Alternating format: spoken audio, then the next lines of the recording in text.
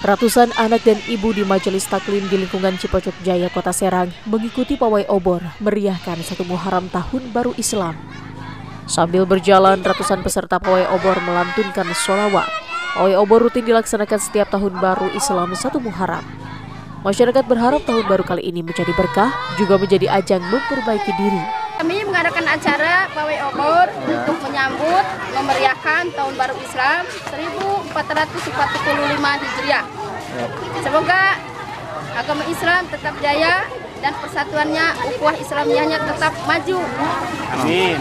Mereka berkeliling lebih dari satu kilo menyusuri jalan lingkungan dan desa serta mengajak warga turut serta dalam pawai tersebut.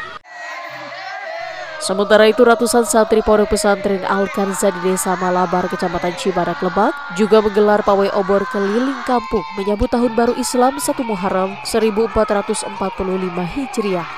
Pawai diawali dari asrama Ponpes, kemudian keliling kampung. Pawai obor ratusan santri ini semakin meriah, ratusan warga desa ikut serta. Tadi uh, semua anak pondok nih? Iya, iya. ada warga juga. Oh gitu, gabung ya? Iya. Senang nggak? Oke. Ini setiap tahun atau gimana sih?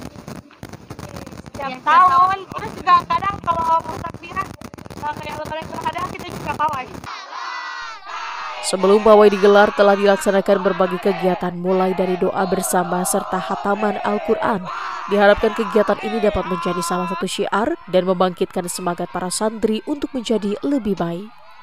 Pawai obor ini bertujuan yang pertama kami ingin siar Islam, kemudian memberikan informasi kepada masyarakat bahwa ini adalah tahun baru uh, Hijriah yang mana di tahun baru ini kita harus hijrah. Kita harus bisa uh, berpindah dari yang kebiasaan kurang baik menjadi kebiasaan yang lebih baik lagi. Para santri Al-Kanza Pawai Obor juga digelar warga di sejumlah wilayah, seperti di Kampung Pasir Loa, Desa Sudamani, dan Kampung Cipendei, Malingting. Fajri Munawir dan Saipul melaporkan dari Kota Serang dan Kabupaten Lebak.